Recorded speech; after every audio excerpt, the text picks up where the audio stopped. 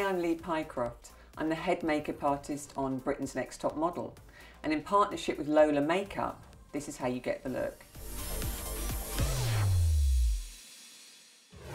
Hi, I'm Lee Pycroft. I'm the head makeup artist on Britain's Next Top Model. And today I'm going to talk to you about my favourite Lola makeup products. So first off, We've got Picture Perfect Foundation. Now, there's a few foundations in the Lola range, but this one I absolutely love because you can build it up quite easily by just layering the product on, but the finish is very radiant and glowing. Next, we've got the Concealer Pen. Now, this is brilliant if you have slight shadows underneath the eyes, you just want to give a bit of brightness. Easy to apply, you can't overload it, so you're never going to look cakey underneath the eyes. Although we like to have a glowy skin, or I certainly do, I don't want to look shiny, and this powder is a universal coloured powder powder. It's absolutely brilliant. You can use it in all sorts of skin tones.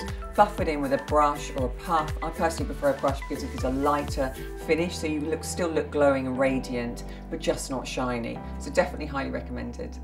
So I also have this product from Lola which I absolutely love, which is their contouring kit. Now contouring is massive and has been for quite some time, but this is quite a universally friendly colour which you can just sculpt your cheekbones out with and this one here, which is the paler tone, is just great to add a bit of brightness to parts of the face that you need it. We've then got one of my very favourite eyeliners, which is this gel liner pencil.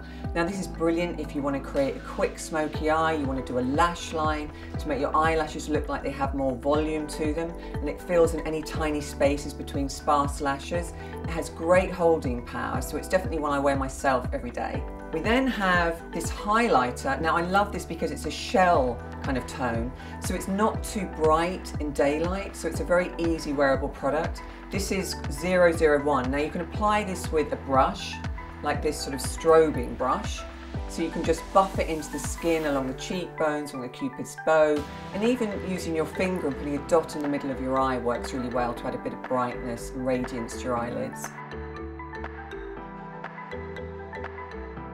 Keep your eyes out for more Lola makeup tips from me and the girls on the Britain's Next Top Model website.